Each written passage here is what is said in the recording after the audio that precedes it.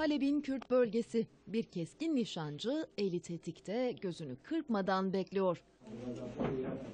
Hemen yakınındaki rejime bağlı ordu birliklerini izleyen keskin nişancı bölgede savaşan kadınlardan biri. Suriye'de 4000 kadar Kürt'ün muhalif saflarda savaştığı tahmin ediliyor. Bunlardan yüzü ise kadın.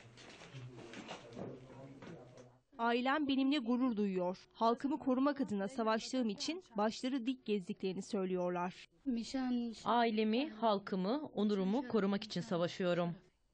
Kürt kadınlar PKK ile bağlantılı milis grup YPG'nin üyesi olduklarını söylüyor. Çoğu silah kullanmayı küçük yaşlarda öğrenmiş. Suriye'deki savaşın başlamasının ardındansa muhaliflere katılıp Esad birliklerine karşı savaşmaya karar vermişler. Ben deneyimli bir Kürt savaşçıyım. 17 yaşımdan beri silah kullanıyorum. Buraya bu bölgeyi korumak için bir yıl önce geldim. Onların bulunduğu Halep'te ölüm kadın ya da erkek kimseyi ayırmadan kol geziyor. Ordu birliklerinin son dönemde artan saldırıları yüzünden muhalifler zor günler geçiriyor.